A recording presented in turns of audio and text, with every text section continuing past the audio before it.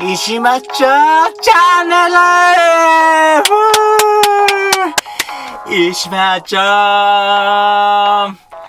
石マッチョどうもこんばんは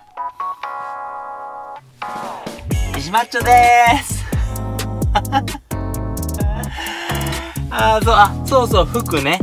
服、そうそうそう。昨日とね、同じ、同じというか。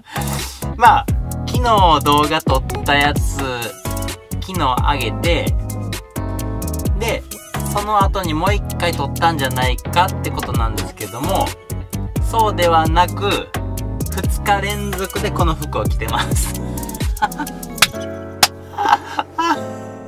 いや、いやもうね、ほんま冬場は、中にこう T シャツとか着るじゃないですか。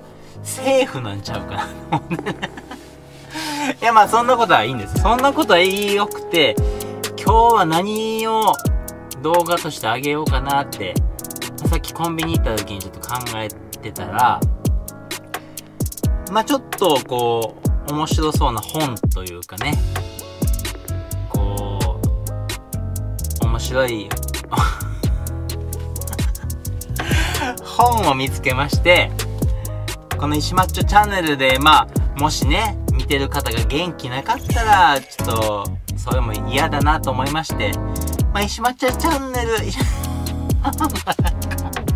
石マッチョチャンネルで元気になってくれてもいいんですけどもそれだけではもしかしたら足らないかもわかんないんでこの本買ってきました。じゃん。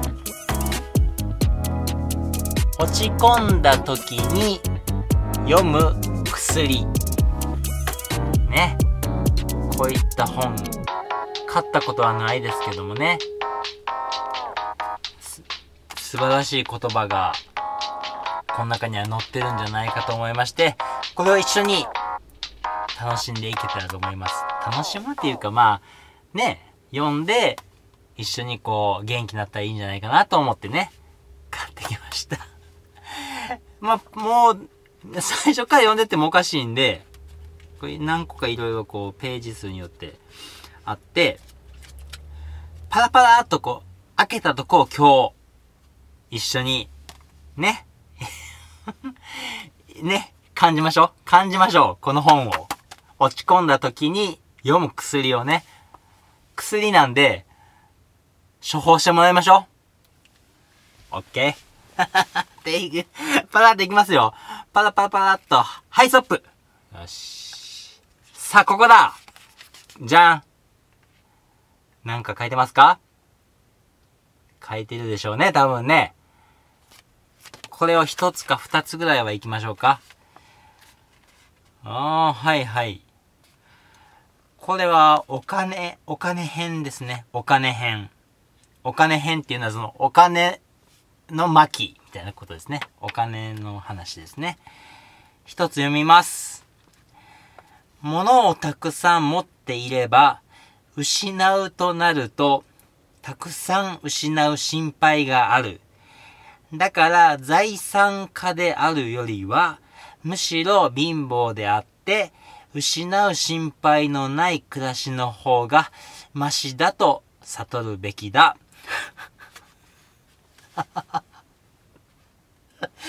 長いな え、名言とかじゃないの？長いなもう。まあでも、あわ、わかりますよね。わかりましたよね、今。うーん。そうか？うん、まあまあまあ、その、だから言うたら、こういうことですよ。だから、金持ちであ、あることがメリットもあるし、デメリットもありますよっていうこと。貧乏の人はメリットもあるし、デメリットもあるって。これはまた相反するものやから、お金持ちを羨むっていう話っていうのも違うんだよっていうことを多分言いたいと思うんですよね。多分この人は。えー、読めません。この読めませんけども、この人。洪水の項になんかね、書いてますよね。洪水の項になんか、まあまあ、そうかそうか。うんうん。まあまあまあ、わかりました。うん、もう一つ行きましょう。もう一つちょっと行かしてください。はい。この人は、シャンホ、シャンフォール？シャンフォールっていう人ですね。人々の中で最も金持ちなのは、倹約家であり、最も貧乏なのは、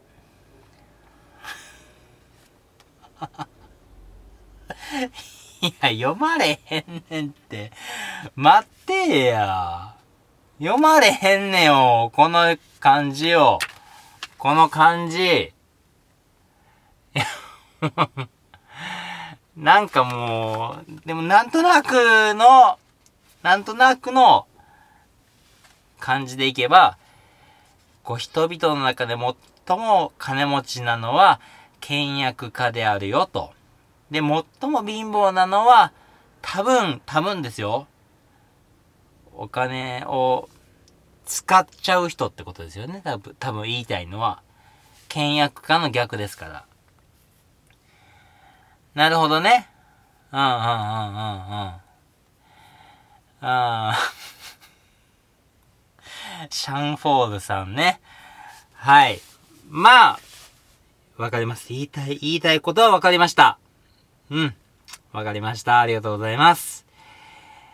もう一つぐらい行こうかな。もうちょっと時間もあれなんでね。もう一つだけ。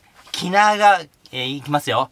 これは、伊達政宗が、だ、おすごい。伊達政宗が言ってます。気長く心穏やかにしてよろずに、倹約を用い金を備うべし。倹約の仕方は不自由を忍ぶにあり。あ、まあまあ、でもこれって、同じことを言うてますね、多分ね。うんうんうんうん。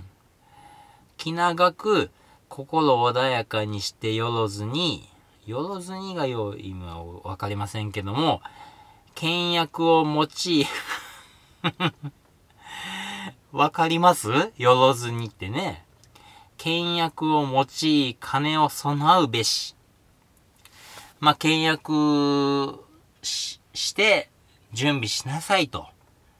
で、倹約の仕方は不自由を忍ぶにあり、まあ、我慢しなさいっていう話ですよね。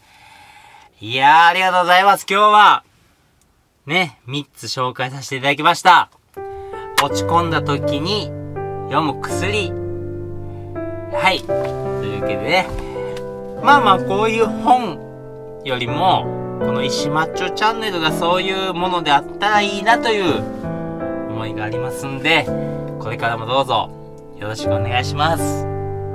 チャンネル登録と高評価、よろしくお願いします。ありがとうございました。またね、バイバー イバイバーイ